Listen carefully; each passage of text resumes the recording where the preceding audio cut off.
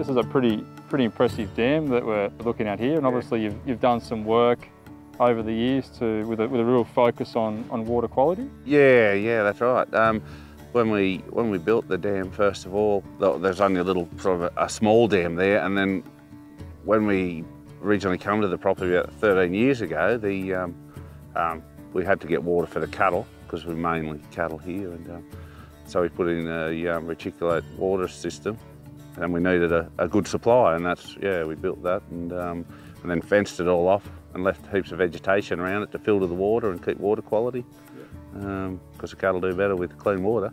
So did you find through the through the recent drought that vegetation and, and keeping stock out of the dam, it, it, had a positive impact on water quality? Yeah, the water's a lot was a lot clean, cleaner and um, yeah, that, like that, it didn't really affect the vegetation around the edge of the dam and it just kept the water, yeah, the dam stayed full like that and um, yeah, really good quality. The cattle appreciate it. You've recently put a solar pump in and you're pretty happy with how that's going? Yes, we had a different pump there before that ran off compressed air but um, it's given us a bit of grief so we've put a solar pump in there now um, and it was able to hook into the, the infrastructure we had already um, in the ground.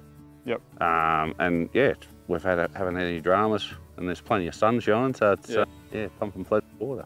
That solar pump's pushing water up the hill up to those there's a couple of header tanks on the yeah. on the hill. Yeah, that's right. The um, that pumps two 50,000 litre tanks, which is yeah, it's enough from those tanks. Uh, they supply 26 concrete water troughs right. to paddocks for the um, cattle.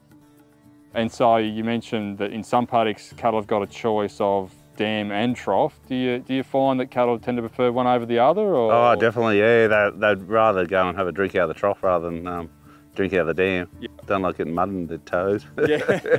So I noticed walking around the property um, that you've got a mixture of, of both rectangular and, and round troughs. Any, any sort of yeah, yeah. comments around, around yeah, that? Like, um, the, the round troughs are good for um, grown cattle, but they're no good for the young young calves or for sheep because they can't, you know, the, the walls are too high on them and can't they can't access the water. But now I've gone long, the longer um, dual purpose trough, like yeah. they're good for sheep and cattle, yeah. That's the way we'll go from now on, is the long rectangular troughs because they, everything can access them easily. Mm -hmm. Yeah. And if they fall in there, they can jump back out too. You've, you've set the system up and, and, it sounds like it's working quite well. Is there any, I guess, any tips or, or advice that you would give on, on setting up a reticulation system and, and well, in your, in your experience? Yeah, I think the, uh, the main thing is to have good quality troughs, concrete troughs. Um, concrete are the best, there's no doubt about that because once, once they're there, they're full, nothing will damage them.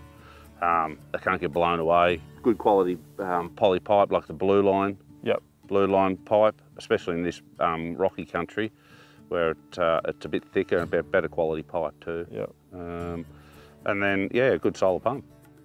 And just with the two tanks on the hill, is that like a backup sort of system? Yeah, it is, is just reason? in case, just in case the um, pump goes down. Um, at least, you know, we've got probably two days to get the pump sorted, to get yeah, it get back in back in order and working again. But you know, like there's always there's downfalls as well. You know, like uh, if animals are only dependent on stock or trough water as well, you know, you've got to be vigilant and keep an eye on it because if a trough dr runs dry in the summertime, yeah. you have some pretty thirsty animals around. And yeah, um, yeah. so that, yeah, maintenance reasonably high on them. Yeah. Uh, but it's well worth it yeah, because yeah. of the quality of the water. Oh, well, thanks, thanks for the um, for the chat about your system there, Glenn, and, and for the overview and some really good good tips and advice there as well. So thank you. Yeah, thank you.